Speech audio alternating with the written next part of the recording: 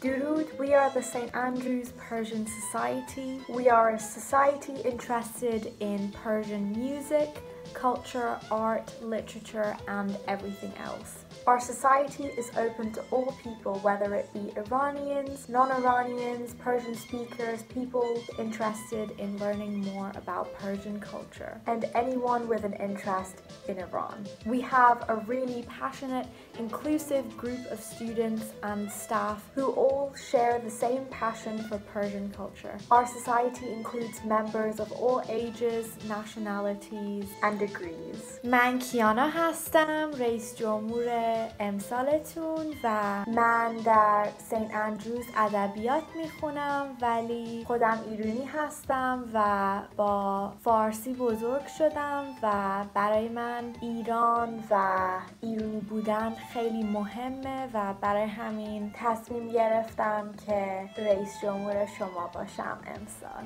سلام اسم من الکس است من یک دانشجوی زبان فارسی و روابط بین الملل هستم من در آمریکا زندگی می کنم سلام اسم من کلاوج است من حازانم دا هستم و دا کیمبریج زندگی می کنم Hi guys, I'm the treasurer for the society this year and I can't wait to meet all of our new members and really show you what Persian Society is all about. We are a new society, so unfortunately last year we were not able to hold all of our events due to coronavirus. One event that we were able to hold was our Shabe Yalda evening. Shabe Yalda is a holiday celebrating the longest and darkest night of the year. Traditionally, this is celebrated with friends and family coming together to eat, drink, and read Hafiz's poetry until well after midnight. Here in St. Andrews, we celebrated this with a potluck dinner, complete with lots of traditional Iranian food. We're hoping to be able to celebrate more holidays here in St. Andrews next year. So I just wanted to talk a little bit about COVID precautions.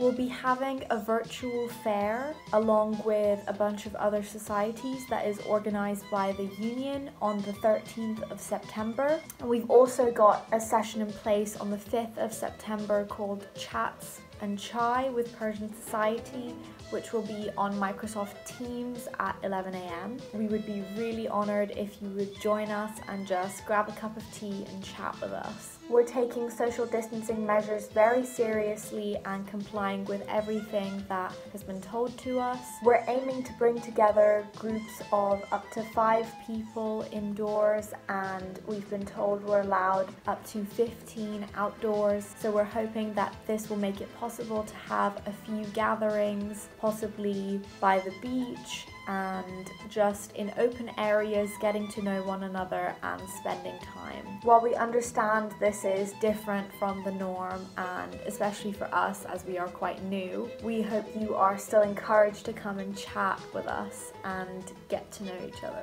I'm really excited for the upcoming year. We've got some really exciting events planned. Obviously, as Kiana has mentioned before, with coronavirus, these are going to be a little bit different than what we would originally hoped, but we have got some exciting stuff coming up. So this semester we have some super exciting events lined up for you guys. We're planning on holding a combination of both virtual and in-person events. However, these in-person events will obviously have to be limited size-wise and for number of people. At the end of this semester we have Shabe Yalda, which we are really hoping to do as big as possible celebration for, obviously within the restrictions. We're also planning this semester to have a selection of small, more low-key events, sort of chats in person maybe or even on virtual and also the possibility of having some seminars led by both faculty members and maybe visiting speakers. Being able to find solace in my culture at university with the people around me was truly life-changing. I felt something was missing in my first year at uni and it is something that Persian Soc has managed to fill. For me, Persian Society is a really welcoming atmosphere. It has also been a great way to learn more about Iran and Persian culture. As a language student, I also find it really useful for enhancing my language skills, but this society is open for everyone, not just language students. I particularly love Persian society because it's just one big family. I love being able to take what I'm learning in the classroom to the society and really just learn more about Persian and Iranian culture and history and literature and also socialise with other people with these interests as well as people with Iranian heritage. For more information about Persian society, you can visit our Facebook page, University of St Andrews Persian Society, or our Instagram where we are quite active at Sta Persian Soc. Thank you خداحافظ.